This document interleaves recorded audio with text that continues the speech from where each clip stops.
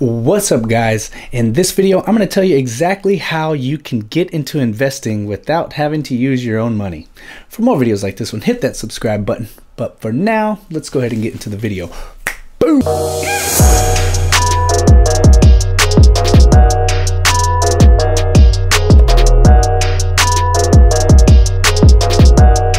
What's up guys, it's Jay and welcome to Flashpoint. We're all about credit, credit cards, and other finance tips. If you're new to the channel, please consider subscribing. Also be sure to smash that like button for the YouTube algorithm, really helps me out.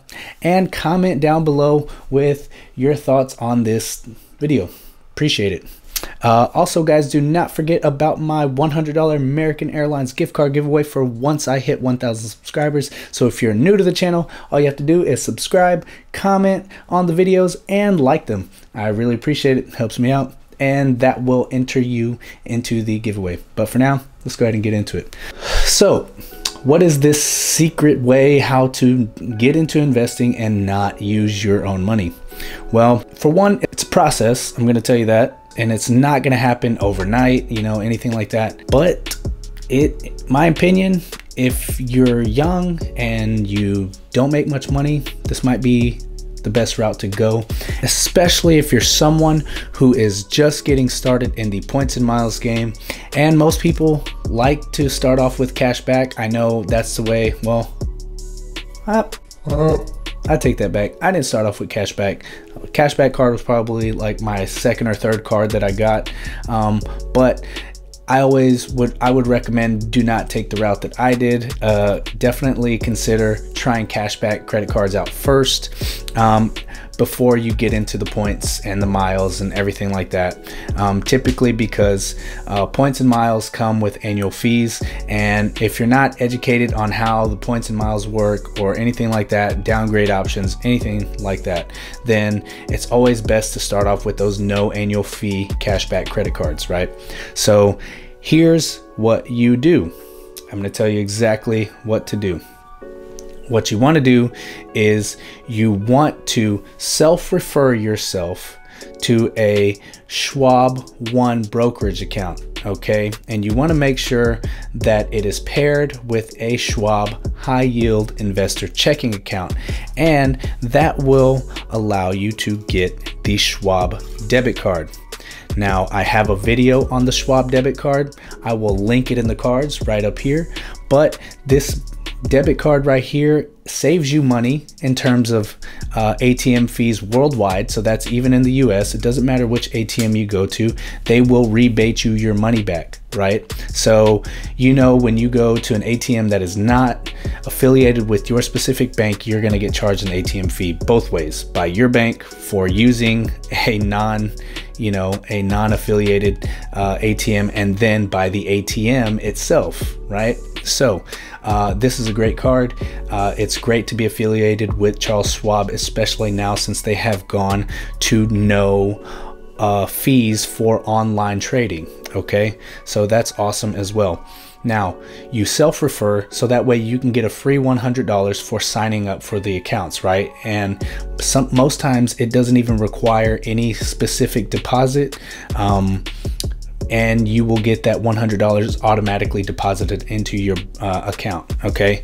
Now, second, what you can do is you can apply for the Schwab Investor Card, which is a card that is provided to you by American Express. Now, the reason why I say you want to make sure that you have these accounts first, the brokerage account combined with the high yield investor checking account, is because you have to be a member of Schwab in order to qualify to get this specific cashback card.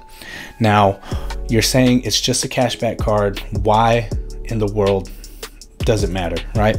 Well, on top of that $100, you are going to get a $200 bonus for hitting a minimum spend of $2,000. And in my opinion, most people who are just starting out, even young professionals, doesn't matter who it is, your bills, your expenses on a monthly basis will equal out to a little over $2,000, especially if you're paying for food, you're buying groceries, you're paying for gas, you're paying for light, water, you know, cell phone bills, anything like that, you're paying your rent.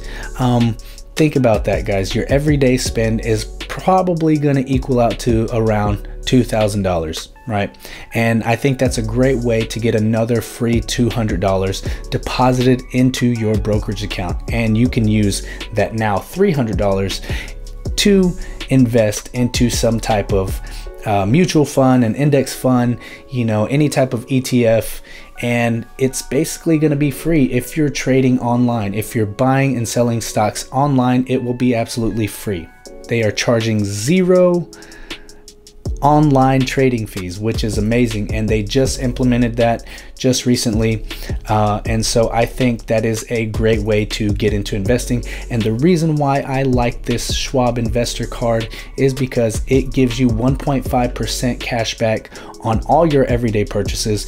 And that cash back gets immediately deposited into your brokerage account. So this is a great way to start getting into rewards for one, but it's also a great way to start planning ahead for the future, for any future um, wealth that you wish to have. You know, plan for retirement, plan for, um, you know, your children, anything like that. I think this is a, a great strategy to help yourself get ahead. Most people don't ever really think about retirement, uh, they always think about living in the now, but it's always I feel like it's always okay to live in the now and still plan for the future. Now, most people either blindly throw money at an IRA or blindly throw money into a savings and don't necessarily get far with that plan. Well, the great thing about this card is that no matter what, if you're spending, obviously once you get into the points and miles and you're want to start using to maximize your spending. But Think about it. Most people like to get the Chase Ink Unlimited or a Discover It card or a Chase Freedom card in order to get cash back, right? Which is fine. There's there's nothing wrong with that. But I think if you're going to use a non bonus category spending card like a 1.5% cashback card, similar to the Quicksilver card, similar to the uh, Chase Freedom Unlimited and the Chase Ink Unlimited, then I would recommend you going with the Schwab Investor card because that's money that's going to go towards making more money long term in the future. Now, I know what you're saying. It's not going to make that much of a dent in terms of your progression. Uh, it's, it's not going to provide you with much money over the course of time. But if you get this card early, then think about it. You have this card for 10 years, 20 years, and you've just spending been spending on it. Then imagine the amount of money that you could have had built up already there and then have that money working for you in those investments, right? So I think this is a great card to have and I'm going to go over some of the details. So one of the great things about this card also is the interest rate that they offer. So the interest rate that they offer is between 15 and 18%. Now, that's not always the case. Yes, it's still relatively high, but compared to most other card issuers, you're going to see somewhere between 15 and 24%, right? So, and most times it's on the higher end. I think this is a great thing that they're offering competitive interest rates in terms of a no annual fee card. It's great. Uh, and then finally, obviously, you guys are going to um, be getting 1.5% cash back on all your purchases, but it does come with protections, and that's a great thing. Now, I won't go over all the protections for the sake of this video, but this card also comes with a 24 7 dining and event assistant. So all you have to do is call and they can help you with any type of reservations or purchasing any tickets that may be sold out. I think that's awesome, you know, and it also does come with, you know, purchase protections and, and certain warranties that, um, well, are provided. So I think that's a great thing. And uh, yeah, so, guys, let me know down in the comments below would you apply for this card? Do you have the card? Do you have a relationship with Charles Schwab? And what do you like best about it? What's been your experience? I'm curious to know. So, just let me know down in the comments below. I appreciate it. And that'll conclude today's video, guys. For more video updates, hit that subscribe button. If you found this information to be helpful, give this video a thumbs up I really appreciate it. Share with your friends. Drop a comment down below to let me know about this Schwab Investor Card. What do you think about it? Don't forget to hit the bell notifications down the bottom left corner so that way you guys can stay up to date for whenever I drop my next video. Be a good person, be safe, be smart, and remember, this takes some getting used to. Damn it. I just got the mic, trying to make the videos better for y'all. But yeah, it's like my hands, I like to move my hands, you know, I, and I can't because this thing is, I'm just going to hit it, right? Anyways, Remember, be a good person, be safe, be smart, and remember, credit ah, ah, ah is your life. And I will see you guys in the next one. Peace. Peace.